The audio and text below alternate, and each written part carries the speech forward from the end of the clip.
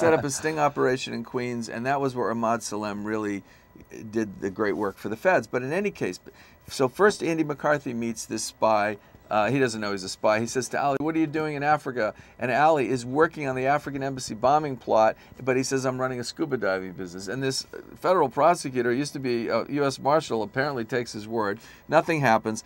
Years later, in 1997 now, they're perfecting the plot to blow up these two embassies that, that Ali began in 93, took the pictures in 93. Now we're in 97, four years, uh, three, you know. Now, listen to this. Dan Coleman, one of the elite agents from this unit mm-hmm. under Fitzgerald, goes to Africa, searches the house of a guy named Wadi El Haj, who is one of the co conspirators. Sure. And Wadi El Haj, in his house, has all this Ali Muhammad related stuff. And they go, oh my gosh our guy Ali Muhammad is involved with these guys. These so Patrick Fitzgerald himself flies to Sacramento where Ali is living, meets him in a restaurant by the State House, tries to get him to turn, and Ali says to him, I love bin Laden. I don't need a fatwa or religious decree to attack America. I have a bunch of sleepers I can make operational at any time. And he goes basically like this and leaves. Oh, Patrick Fitzgerald turns to this agent Jack Cloonan, who I interviewed, and said, That is the most dangerous man I've ever met. We cannot leave him on the street. What happens? Leaves him on the street for 10 more months. The bombs go off in Africa. They, take a month to arrest him. At the embassy in Kenya. In Kenya and Tanzania. Tanzania 220 right. some dead, 4,000 injured. A plot that Ali began in 93 under the noses of the FBI, and not just the. I'm not talking about the Wichita office. This is the New York, New York office, office, okay? Right. And so basically, they what they do is they cut a deal with him to avoid the death penalty. Now, what happens when you cut a deal? Like Sammy the Bull Gravano kills 19 people, he gets five years. Why? Because he becomes a star witness for mm-hmm. the government. That's what a deal. Right. It's a promise for a promise. Exactly. Ali Muhammad never goes on the stand when Patrick Fitzgerald tries Bin Laden for the day uh, for the embassy trial in February of 01. I believe. Why? Because they the feds are so embarrassed by how they screwed up with this guy. They don't want the defense to peel back the layers. But what if that had happened in February? Remember what's happening now in March, April? My hair's on fire, George Tenet, the lights blinking red, Richard Clarke, Condi Rice, the Phoenix Memo, July 10th. All this confluence of intelligence is starting to percolate. And if they had peeled back the layers on Al Qaeda's true intentions through Ali Muhammad in the in February, who knows what might have happened that summer. Mm-hmm. So that's why I've taken the time to document this remarkable story. It's an epic. Well, tell me, uh, that's one reason why, but tell me, I mean, since it's all over and done with, what possible value could come with showing that the government made a series of foolish to criminal errors that allowed this disaster to happen. I mean, they've seemed to have changed their whole tack on it since then. Well, actually, in my opinion, with respect to the FBI, they have not sufficiently reformed, and that's why I keep telling the story the because, so you know, as Justice um, uh, Justice Louis Brandeis said, sunlight is the best disinfectant.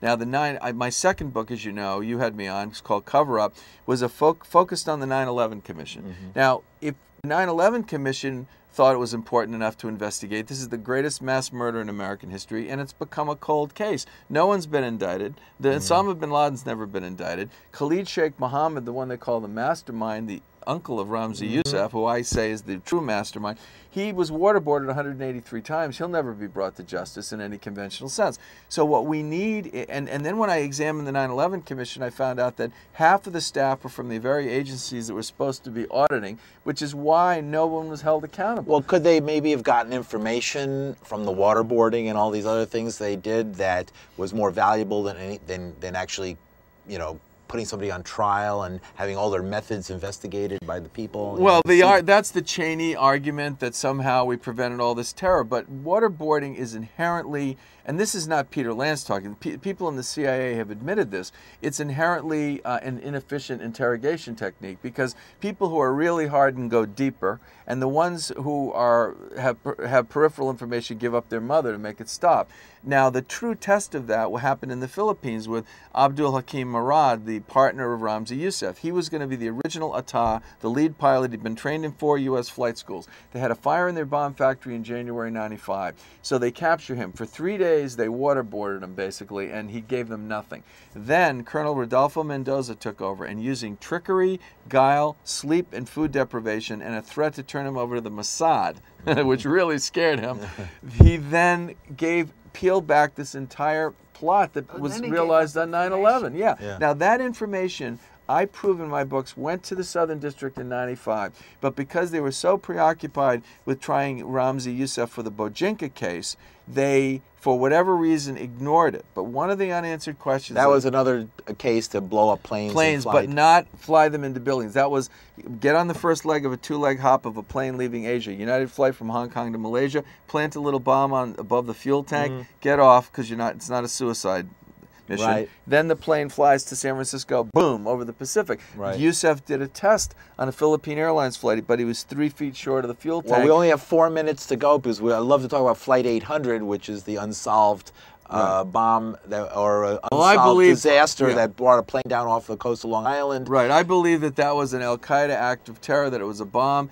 And if you go to peterlance.com, there is a section on my theory about TWA 800. This is a, I've, I've had seasoned FBI agents who worked that case, who have read my books, have come to me and said they absolutely believe I was dead on. I make a, it's a circumstantial case, but it's compelling. Okay, we have three minutes. I want to Anyway. focus on the last couple of minutes on Patrick Fitzgerald. Right. What happened with Patrick Fitzgerald? He threatened to sue you. Nothing ever happened to that. What happened was the, the, the book came out in hardcover and uh, uh, the fall of 06, but was lost because it came out the week of the OJ scandal with HarperCollins. The book was virtually lost. So a year later, when uh, the book was about to come out in paperback, Pa- Patrick Fitzgerald sent the first of four letters threatening to sue for libel as a private citizen. Now, understand the system in America. Did he mention this show?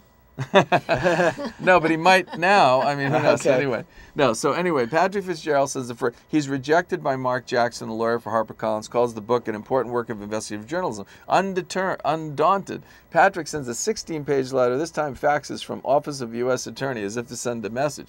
Now, because of who he was, if it was Paul DeRienzo or or John Doe or anybody or Peter Lance, a citizen, the book would have been out. But because of who he was, I'm, I'm speaking practically, mm-hmm. Harper said to me, Why don't we go back and look at the book? Let's take a look. I said, Fine. And we revetted this entire book. It took 14 months, took me out of play. I've got another book, 666, that's over a year and a half delayed. And he sent a third letter in September of 08, and he used the word demand twice in the same sentence. And then when he found out the book was coming out last June, he sent a letter on June 2nd, said, if this book comes out and it libels me, I will sue. So Newsweek broke the story, Boris Kachka of New York Magazine broke mm-hmm. the story, and the AP had a big thing. And we haven't heard a word from Pat, because he knows that in order to sue for libel, he has to show malice or reckless disregard for the truth. This book had 1,420 endnotes, 30 pages of documentary appendices. Forbes.com called it meticulously researched. I did my homework. I stand behind this book, and so has my publisher. And I welcome Patrick Fitzgerald at any forum on this program. Meet me in a. In a He's invited. We'll fit him in. I we'll fit him. We'll to- I have about five questions, Mr. Fitzgerald, to ask you, and one of them is, and, I'll, and then we'll end. Why did they keep the hunt for Khalid Sheikh Mohammed a secret? They got his nephew Ramzi through a very public hue and cry. They put his picture on matchbook covers, two million dollar reward. A young South African found it, dropped a dime on him, and they grabbed him like they did in the old West, the old-fashioned way, with a want poster. Khalid Sheikh Mohammed, they knew that what he was that he was in doing some kind of a plot and they didn't even mention him the feds until 19 January of 98 by then the plot was well underway in Munich uh, or in Hamburg so the point is why that's one of the great unanswered questions the 9/11 commission didn't even touch that Okay, we have less Anyway. than a minute. So what's going to happen next? You're working on a new book, 666. Yeah, I'm working on a book that has to do with the aspect of the story from 1996 where these two terrorists, Yusuf and Murad, had a, a mob figure in the jail cell in between them. And there's a treasure trove of evidence that was passed back and forth that was later suppressed by the feds. I contend because uh, it was going to derail some mob cases in Brooklyn. I did a piece for Playboy, and you'll be shocked to know there are articles in Playboy. I, I, um, something you didn't know. There are And, articles. uh, I've- did we, a piece. we did one in Penthouse once. All right. Well, there's one on my website. case, yeah. You go to peterlance.com, you see the bunny, and click on it called The Chilling Effect, where I detail that story. But I'm going to focus on that in my new book called Great. 666. Thank you, Peter Lance. We look forward to it, and thank you again for coming on our show. And It's we'll always see you great again. to be Good here. luck.